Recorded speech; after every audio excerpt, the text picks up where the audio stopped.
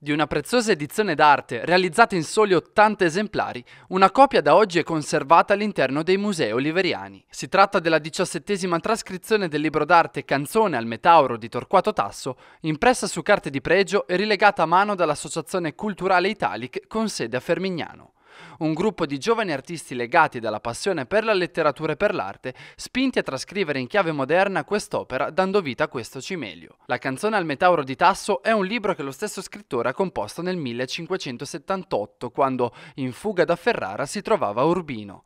Un'opera suddivisa in tre stanze, nella prima il poeta elogia il duca Francesco Maria II che lo accolse nella sua dimora, mentre nelle altre due riporta il suo tormentato stato d'animo in una vita che lo ha visto in continuo conflitto con i canoni della società dell'epoca. All'interno dell'edizione sono riportati tre saggi riflessivi contemporanei proiettati all'analisi dell'opera.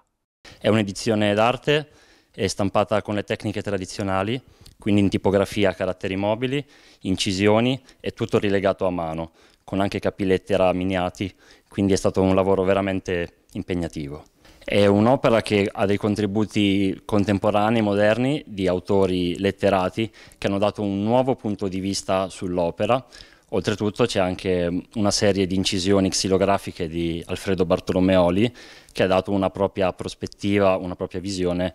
con eh, le sue opere d'arte alla visione della poesia del Tasso. La preziosa offerta verrà presentata in occasione della Stradomenica di aprile in programma domenica 16 alle ore 18, un volume prestigioso che va ad arricchire l'offerta che la Biblioteca Oliveriana presenta alla città.